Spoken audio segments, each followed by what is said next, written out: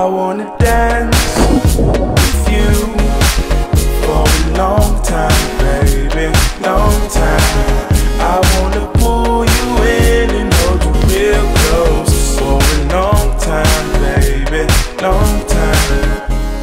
Dette er hvordan en som liker å ha begge bena på bakken, lærte seg noenlunde å dødse. Men for at det skulle bli mulig, så måtte det mye øving til. Jeg øvde for tremeteren. Det er ikke døds. Fem meter. Det er ikke døds. Syv meter. En liten fistbump for good confidence. Det er i hvert fall ikke døds. Syv meter runde to. Men husk, jeg har aldri dødset i mitt liv. Nei, så da fikk vi snakka med konkurranseansvarlig. Hva er det du ville gjøre? Jeg skal da hoppe i uniform fra timeteren Ja. som en del av stadmusikken. da. Ja, ja, ja. Selvfølgelig. Er du gæren? Så det var nice. Og så har vi fått øvd. Ja, Vi skulle trengt få én til. Mm. Så kanskje du vil være med, eller? Etter denne samtalen bestemte jeg meg for å lære meg døds. Så jeg dro til Sandvika.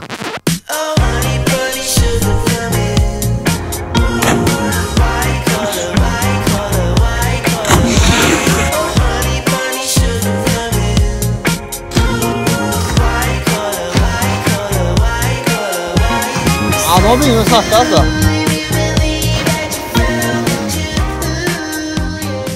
Etter en lang uke og en liten hjernekrise var jeg tilbake på Frognerbadet.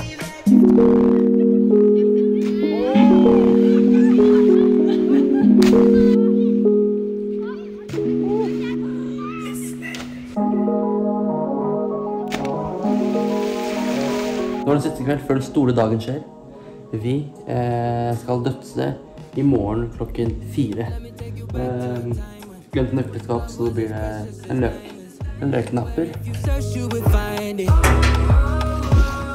Uniform er pakket. Håndkle er pakket. Nypussede sko.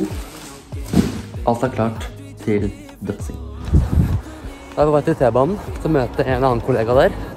Vi drar rett til festningen for å hente MX-uniform, for jeg skal ha en generalprøve med uniform, støvler og alt. Alle de godsakene. Og så tar vi bil til Frognerbadet.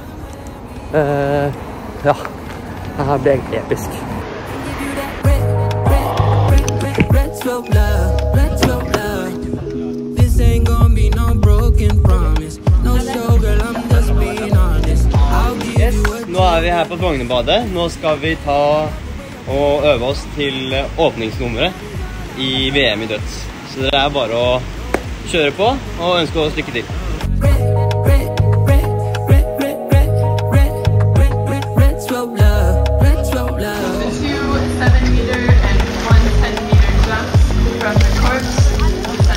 Jag, jag filmade för jag showtime igen.